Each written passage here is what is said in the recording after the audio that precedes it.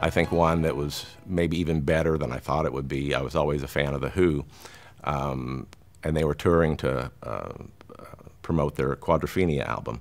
So as soon as the show started, it was kind of breathtaking that they had laser lights, kind of like a deep purple laser lights that went across the the, uh, the stadium, and uh, that was kind of a new thing.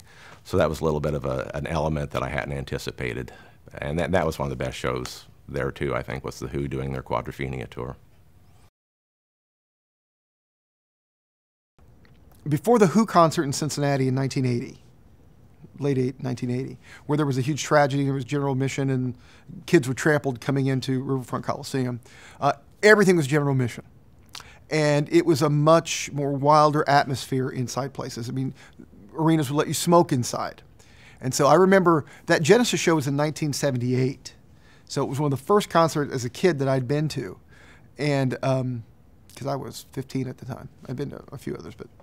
Um, and people were openly smoking pot in Assembly Hall, like passing joints up and down. And, I, and you couldn't, before the show started, the lights came up, you really couldn't see the stage, even though the, the floodlights were on, because it was so dense with smoke inside there.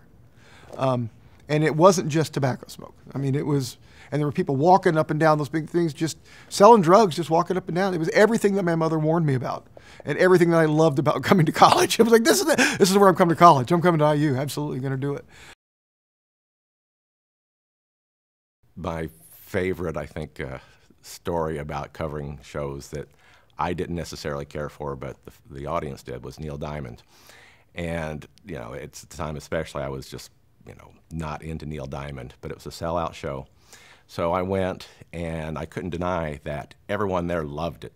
You know, even when the uh, disco ball went off and there's disco lights, all, everybody's standing and clapping and loving it. And I'm thinking, oh gosh, you know, I'm not really into this.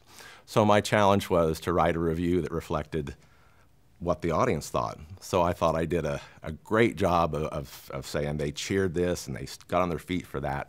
And I never said I liked it, but everybody there liked it. So who am I to say that it was a bad show if the people got what they wanted?